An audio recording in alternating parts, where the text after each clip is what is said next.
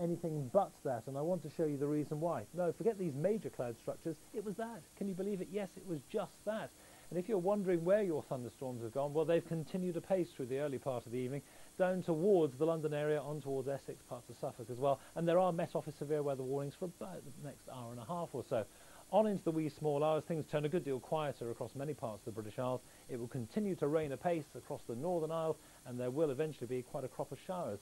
In between, the skies may well clear, and it will turn out to be a fairly cool night in some sheltered parts of the north. So tomorrow will be a day of scattered, a multitude of sins. There will be some really sharp showers around. Might even hear again the odd rumble of thunder. They'll be there from the word go across Northern Ireland into the heart of Scotland, drier and finer stuff here.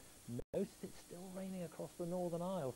But as we drift away towards the eastern side of the British Isles, it's a dry enough and a fine enough start. And if you need dry weather for anything, well, this is your window of opportunity. Certainly for the first two or three hours of the day, I can almost guarantee, almost, a dry and fine prospect there. But out towards the west, there's a little mini front here just pepping things up right from the word go.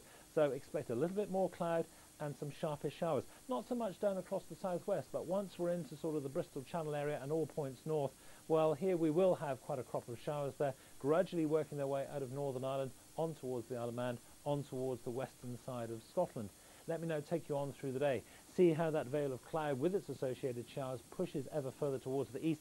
And there are plenty to go around, you'll notice. Anywhere between the Thames and the Clyde, some really sharp ones, maybe the heavier downpour and a rumble of thunder. Still rains across the north, could see a couple of inches falling across the Shetland Isles by the time this rain has rather given up the ghost, and that will be late on in the day.